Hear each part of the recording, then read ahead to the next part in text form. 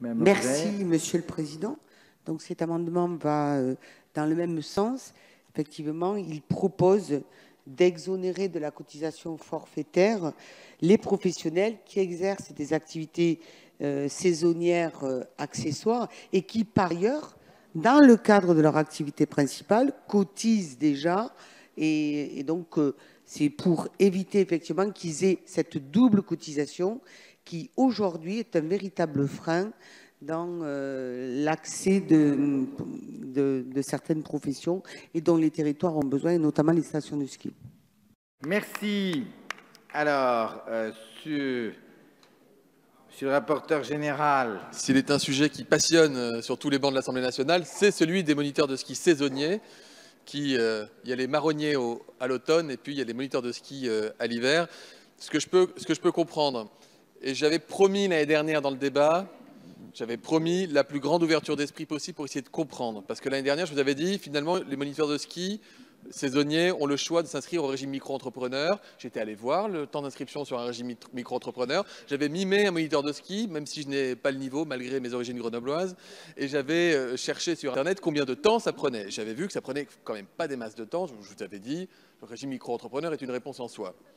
Nonobstant cela, j'ai reçu quand même des représentants de moniteurs de ski euh, il, y a quelques, semaines de cela, qui m'ont expliqué un peu plus en détail la difficulté qu'ils rencontraient avec le régime micro-entrepreneur, qui ne peuvent pas déclarer tous les frais professionnels qui sont inhérents à leur profession. Et effectivement, certains moniteurs de ski peuvent avoir des frais professionnels qui peuvent atteindre 75% de leurs revenus lorsqu'ils déclarent 4 000 euros d'activité ou moins, matériel de ski, transport, etc. etc. Et c'est vrai que pour eux, le régime n'est pas très favorable. Il y avait un système antérieur qui leur permettait d'avoir un plancher en dessous duquel le niveau de cotisation n'était pas très élevé. Alors on ne parle pas non plus de sommes monumentales. Pardon, hein. parce que si on mettait, je ne suis pas sûr que ce soit un euro par minute de temps dépensé dans l'hémicycle pour défendre le sujet, hein, pour être tout à fait franc. Mais du coup, je ne suis pas sûr que l'impact sur les finances publiques soit non plus monumental de l'autre côté. Donc, alors, dans ces amendements-là, moi, je donne un avis euh, défavorable pour, plusieurs, raisons, techniques, financières, etc. S'il devait y avoir une discussion devait y avoir une discussion ouverte, ce serait peut-être sur la série d'amendements suivants, parce qu'il renvoie au décret la définition d'un niveau de plancher. Je ne dis pas euh, que c'est quelque chose qui m'enchante dans le contexte, et je vous explique pourquoi. Parce qu'on va avoir une réforme des retraites, qui a une concertation avec le rapport de Jean-Paul Delevoye, et que mais la réforme des retraites, elle arrive cette année. Euh, ça a été annoncé par le Premier ministre, elle va arriver cette année. Donc je veux dire, c'est pas. La réforme sur le grand âge, elle va arriver aussi, Monsieur Lurton. Je sais que vous l'attendez et que vous serez parmi nous pour la travailler d'arrache-pied parce que vous l'attendez.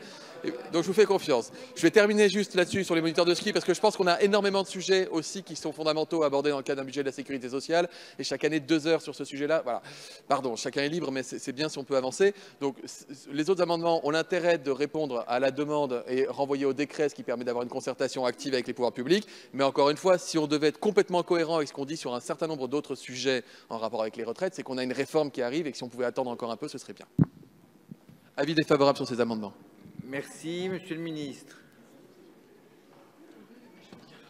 Merci, euh, Monsieur le Président. Je, ne répète pas ce qu'a dit Monsieur le rapporteur, je, partage, j'ajoute euh, deux points.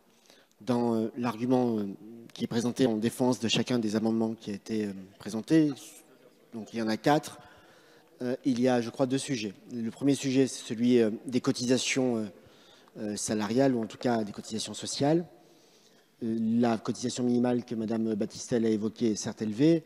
Il y a une possibilité qui euh, serait, pour une activité extrêmement occasionnelle, le statut d'auto-entrepreneur qui serait sur une base de 20% plutôt que sur une cotisation minimale à 500 euros, comme vous le dites.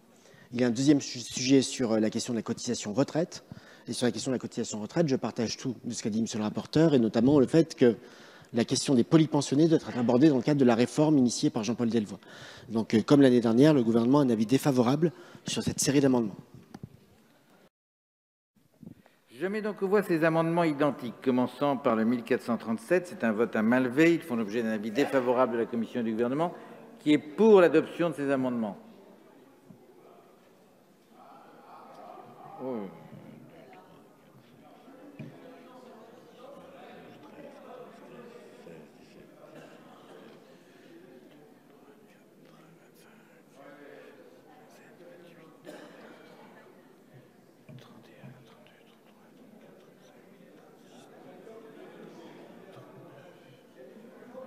Qui est contre